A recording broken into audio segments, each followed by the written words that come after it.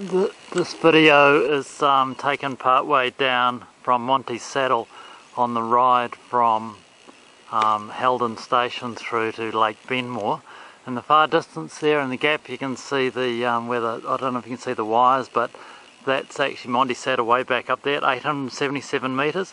We've been following the hillside down, you can see the roads that we're going around on these scree slopes. Panning around a bit to the left here, we go down through all the clouds beautiful um, valleys and everything else that's there.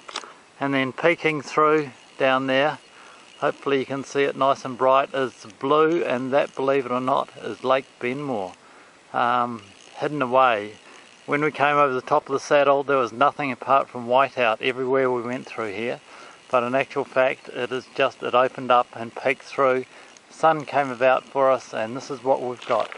It's um, just panning around a bit further, you'll see the road ahead, it just leads down. Way in the distance there is the road, a long, long way down.